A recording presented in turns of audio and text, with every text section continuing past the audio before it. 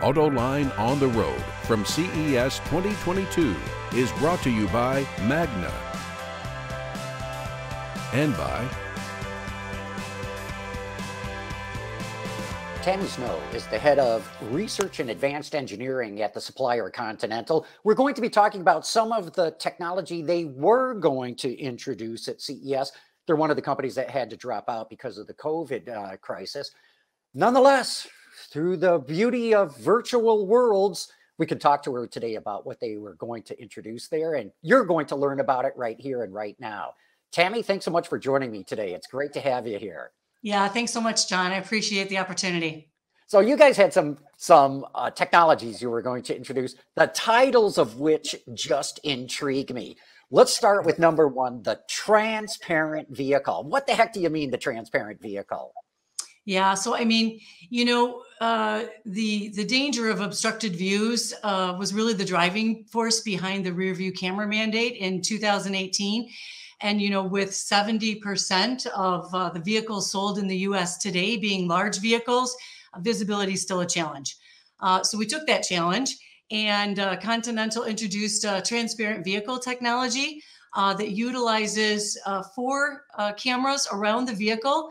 It captures those images, stitches them together through a proprietary algorithm, and provides an unobstructed view around the vehicle, enhancing safety, of course, for everybody.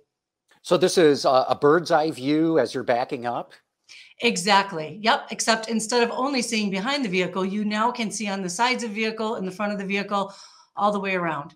Now, that technology, the bird's eye view, has been out for a while, but it's very apparent that it's stitched together and it doesn't look natural. I'm hoping you're telling me you've taken that to a new level. Exactly, exactly. Yep. And so with this algorithm, there's uh, much many more features that we can implement um, than what you've seen today in current production. Uh-huh. Okay, let's move to the next one on the list here. Switchable privacy display. Okay, uh, you got my ears. What's this one about? Well, and and I think you know, if, as we've seen at CES over the years, there's been quite an expansion of in-vehicle entertainment options, uh, which is great. But this technology needs to be coupled with technology that prevents driver distraction. Um, and so for us, uh, it was really important for Continental to introduce their uh, switchable privacy display um, to allow vehicle passengers to uh, enjoy multimedia entertainment, but without distracting the driver. So the way that we um, the way that we do that, we use a combination of um, two backlight units that are unique, and those each have uh, dedicated illumination profiles, and then that enables a multiple viewing angles so that you can set different privacy or public mode viewing. So I, I'm taking that to mean too that say the front seat passenger could be playing a video game or watching a video or whatever, and the driver doesn't see any of it. Exactly. Yep, that's the whole point. Yeah, and so for us, this is like I said, really important uh, to couple this with all of the new in-vehicle entertainment options. And I imagine too that could apply to backseat screens where you could watch your own video, play your own games, or nobody else is going to be able to see what you're doing.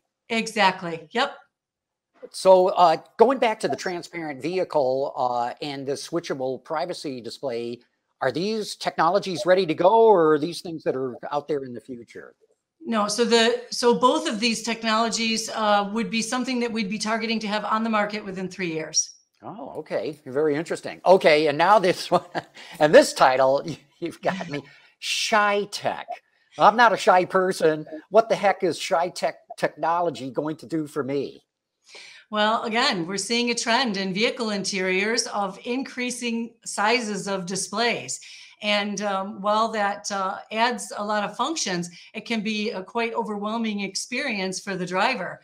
Um, and you know providing distractions or longer off-road glance times and so continental has um, developed uh, what we're calling our ShyTech display and this allows us to um, really curate the information that is visible to the driver based on the driving situation. Um, so we can filter it according to uh, traffic, according to weather, road conditions, or other factors. I, I would imagine, uh, too, uh, it sounds to me like, let me take a step back. You're trying to prevent information overload depending on what the driver is doing. So is this tied into abrupt steering motions, abrupt acceleration, abrupt braking as well? Yeah, so it can be tried. It can be tied into any of those types of vehicle maneuvers. And you know, from a visibility standpoint, um, there's still all of the um, uh, the control panel buttons, uh, switches, and lights, but we've integrated them in a way so that we can hide things that are not relevant at the moment and really showcase things that are of most relevance for the situation that you're in at the moment. Gotcha. Okay. And now we get to the last one on the list here uh, V2X all right, we've heard the term V2X, you know, uh, vehicle communication to whatever, right? You've got V2X collective perception. Yeah. Okay, let's hear what this one's about, Tammy. Yeah, so I mean, it really allows um, drivers and cars uh, to see the unseen, right? And it enhances uh, safety, but especially for vulnerable road users, right? Like occluded pedestrians that you you really are out of your line of sight um, because you only have one perspective from your vehicle's particular location. However, if we bring together the sensor information from other vehicles and their perspective and from the infrastructure and its perspective, we then get this collective perspective.